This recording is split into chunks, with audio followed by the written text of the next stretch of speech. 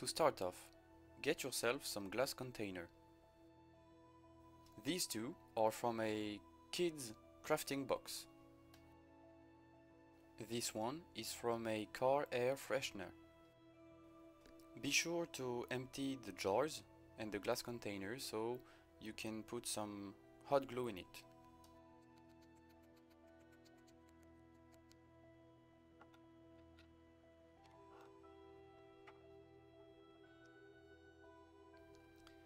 Now you want a piece of cardboard. You also want some colored hot glue sticks, which you will use with your hot glue gun.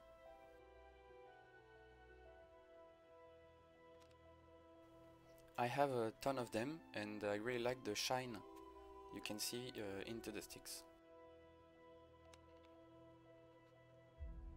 Now you want to clear the transparent glue of the glue gun. You can pull out the stick or you can use a skewer to force out the remaining hot glue.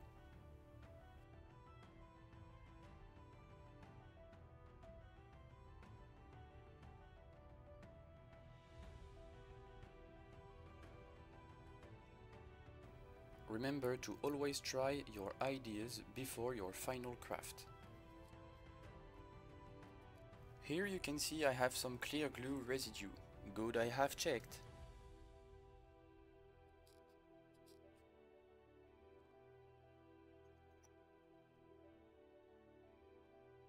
Now you want to fill your emptied glass with the colored hot glue.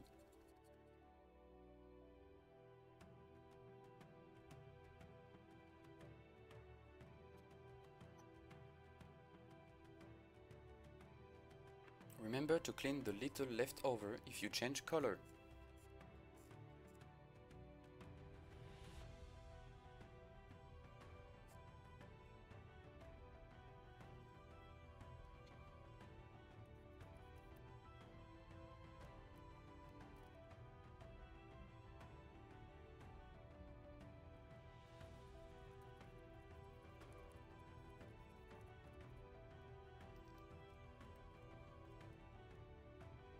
Let some space between the nozzle of the hot glue gun and the glass.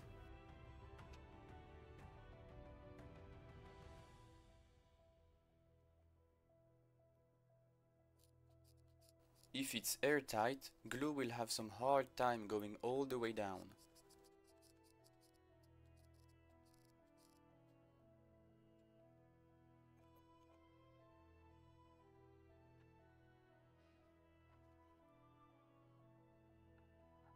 Now we have some beautiful and colorful potions. I really like that shine, making it magical. Even some red is sparkling in the blue and it's amazing. Now you remember when I told you not to press your hot glue nozzle against the glass? Well I did it, and here is the result.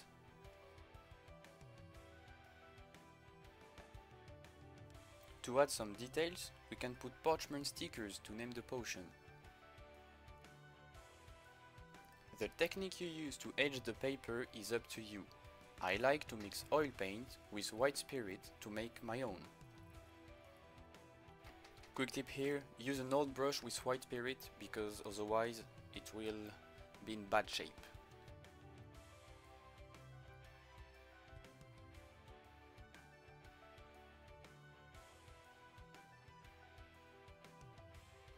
I've tried four different colors and I'm going to choose two of them.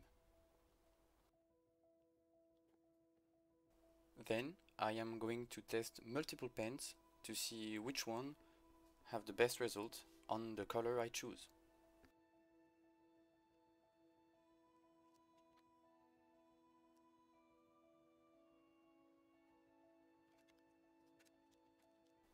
Now I am writing the name of the potion I choose then a quick check to see if it goes on. I like to put a black edge just so it aged very well the parchment. And it also gives a kind of a cartoon look, which I really like, but it's up to you. Just glue it on.